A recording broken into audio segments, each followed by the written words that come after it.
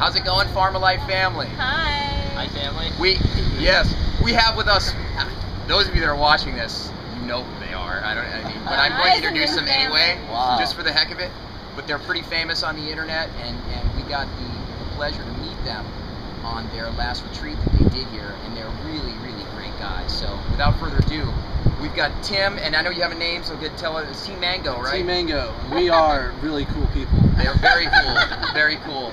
And we have Nathan. Nathan, what's your name? What's your surname? Um, some people call me Magic Fingers. Okay. Ah. Let's not get into that story. Well, let's but just I think say I know why. Yeah, he had a couple. He had an iguana that got pregnant several times without a, without a, uh, a male being around. So I don't know. Seemed appropriate. And we have Daniel right here. Yeah, aka Danimal. Danimal.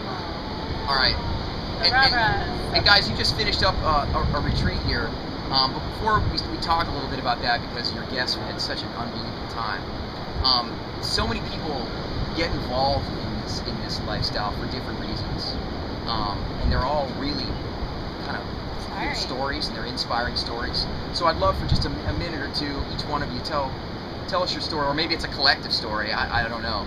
Tim, go ahead, start. Uh, well, we always enjoy pushing the envelope, whether it be in social situations or physical realm.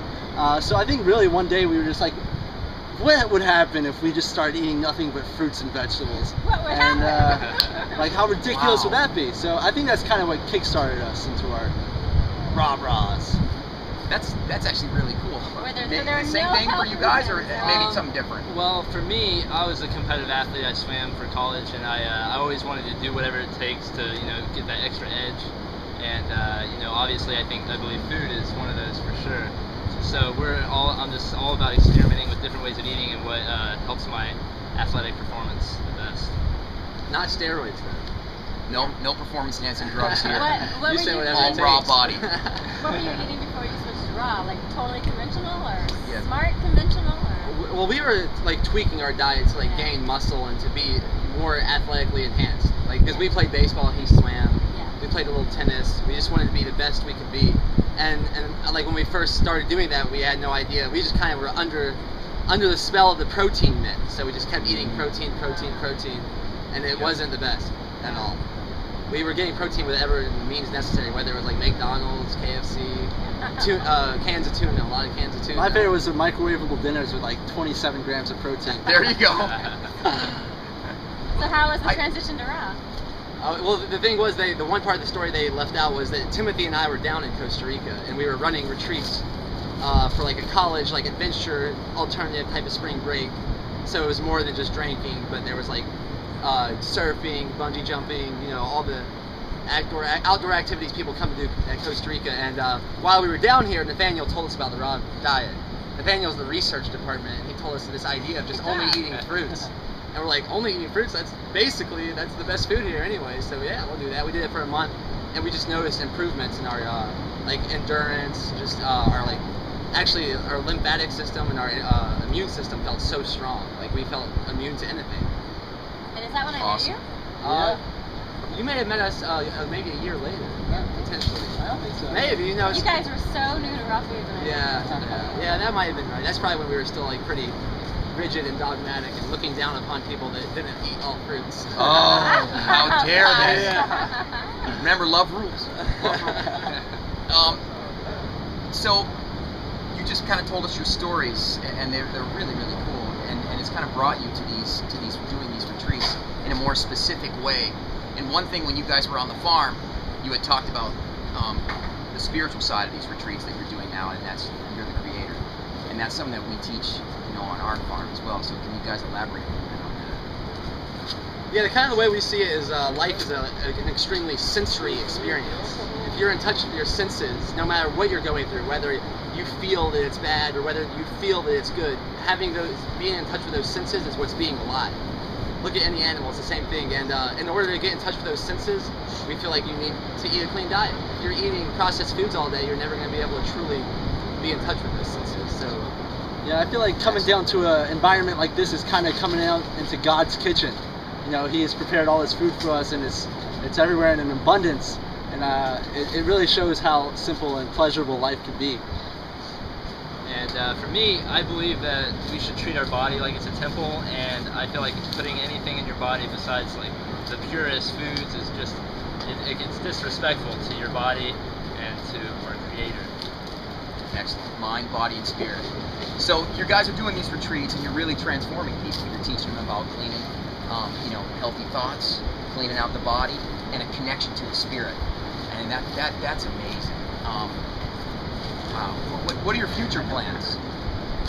We kind of had we live by a mantra: the best plans are unplanned. Plans.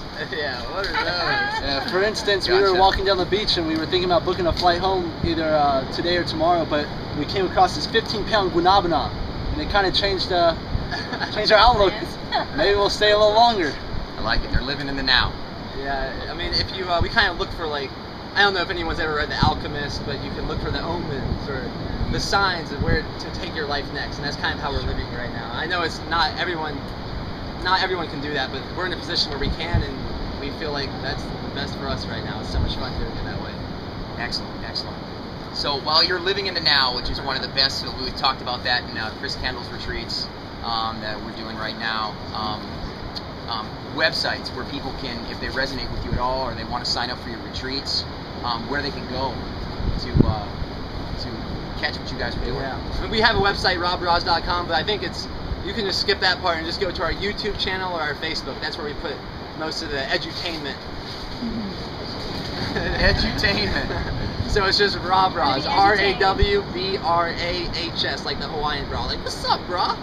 But YouTube.com slash Raw Brahs or Facebook.com slash Raw Brahs. And I'm, I'm curious. One last question. We'll, we'll tie this up. But what what's been your most in the times that you've been in Costa Rica?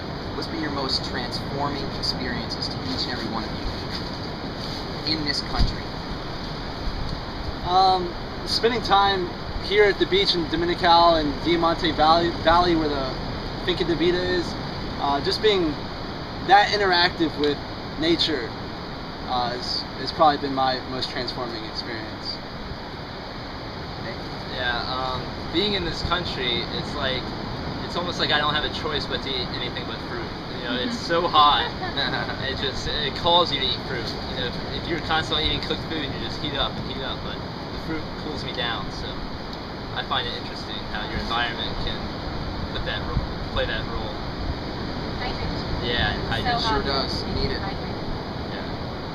Dan? Um, I find myself a lot just so grounded in experiences provided by Mother Nature that a lot of times, like yes, for instance, yesterday evening I was surfing out here with my best friend, my brother, and the water and the sun was setting, like a sunset that you wouldn't even imagine. I'm sure that y'all saw it on the farm, Mhm. and uh, I'm sure you were staring at it. We were actually. staring. we were, we were.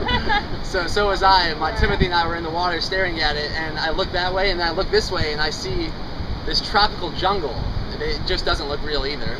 And then I like feel the atmosphere around me. The water temperature is perfect, the air temperature is perfect, and the waves are perfect. And I it just doesn't seem real. Like when I'm in this experience and I'm looking at it, and I, and I can't even say I'm like, is this like HD TV? Is this is this really happening? It's just like unbelievable. And just whether you're doing that or whether you're at the Diamante Falls or Nauyaca Falls, it's just all around here. You can find experiences like that. And I guess that's what I kind of think is Pura Vida, or the country's motto. Pure life, pure life.